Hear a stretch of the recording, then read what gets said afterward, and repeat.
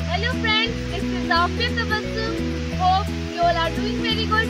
So friends, as I told in my uh, previous vlogs about the trees, about the biodiversity and many more things. So friends, I think if I do not tell you about the lichens, if I do not tell you about the algae so I think the biological world is adhura without all these plants. So yes friends, so मेरा आज का vlog होने वाला है that is going to be very amazing. आज मैं आपको बताऊँगी लाइकन्स के बारे में। तो चलिए फ्रेंड्स आज का व्लॉग स्टार्ट करते हैं। सो गाइस आज तक हमने बुक्स में पढ़ा था about the lichen so let us see the overview of the different species of the lichens and the different varieties we have in such a beautiful garden so let us see look at the overview of the lichens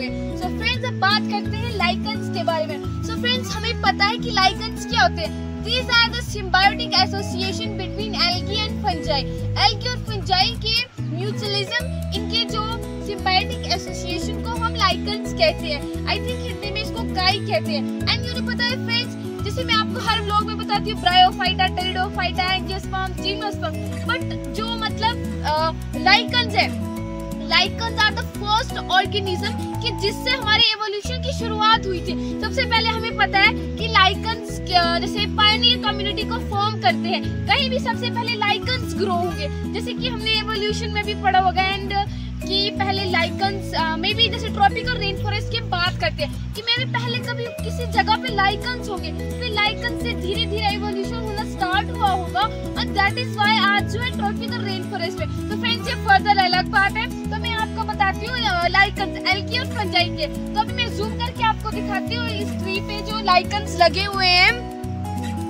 so so friends ये जो green वाला part आप देख रहे होगे, ये है algae और ये जो ग्रे कलर का पार्ट है, इसको कहते हैं फंजाई। ये है फंजाई और ये है एल्गी और इनके सिम्बायोटिक एसोसिएशन को हम लाइकन्स कहते हैं। सो फ्रेंड्स लाइकन्स जैसे कि थ्री टाइप्स के होते हैं we know foliose fruticose and crustose lichen so fruticose and foliose lichens are those lichen which grow on the trees so friends very interesting fact हमें जैसे हमने सुना होगा, हमने पढ़ा भी है कि जिस भी जगह पे, किसी भी प्लेस पर अगर बहुत ज़्यादा लाइकन्स हो तो वो इस चीज़ का इंडिकेशन है कि this place is not the not polluted so much so friends in big cities like metropolitan cities हम देखते हैं कि कितना डे बाय डे पॉल्यूशन बढ़ रहा है। So I don't think hardly a place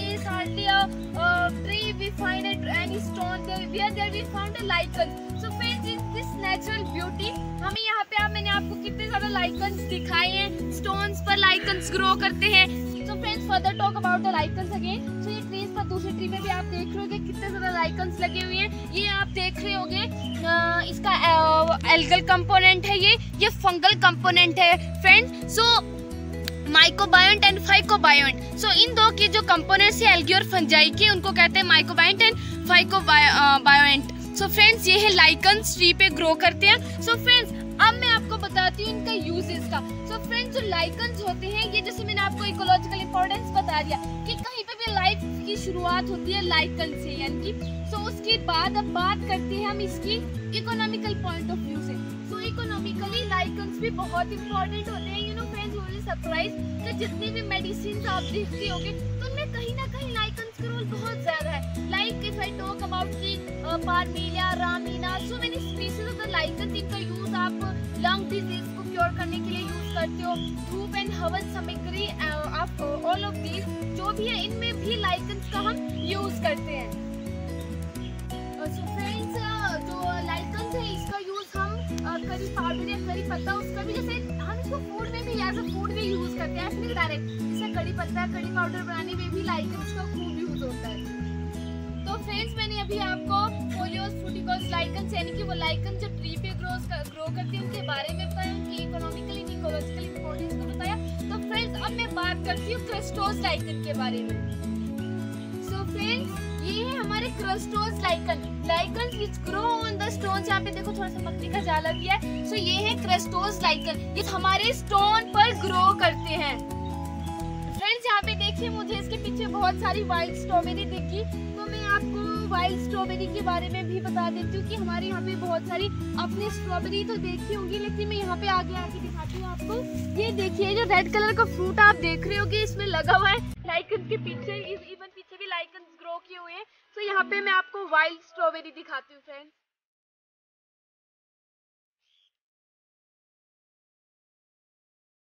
so so friends ये देखिए लाइकन के बीच में वाइल्ड स्ट्रॉबेरी भी मैंने आपको दिखाई, मैंने काफ़ी ज़्यादा कलेक्ट कर ली है। सो so मैं इसकी लीफ आपको दिखाती हूँ कैसी होती है। ये है वाइल्ड स्ट्रॉबेरी मैंने काफ़ी कलेक्ट कर ली है। तो फ्रेंड्स ये थी लाइकन जिसके बारे में मैंने आपको बताया एल्गी और फंजाई की सिम्बायोटिक एसोसिएशन है। तो यानी कि जो फ़ूड कंपोनेंट है that is provided by the algae and shelter जो है वो प्रोवाइड बाय द फंजाई तो जो है उस एक को फ़ूड मिल जाएगा, एक को शेल्टर और न्यूट्रिएंट एब्जॉर्ब करने के लिए मीडियम मिल जाएगा. इसलिए जो है lichen are the symbiotic association between algae and fungi so friends lichen जहाँ पे भी ग्रो करती है मींस कि that area is not so much polluted वो पोल्यूटेड नहीं है. एंड लाइकन से मैंने आपको बताया कि इकोनॉमिकल और इकोलॉजिकली बहुत ज़्यादा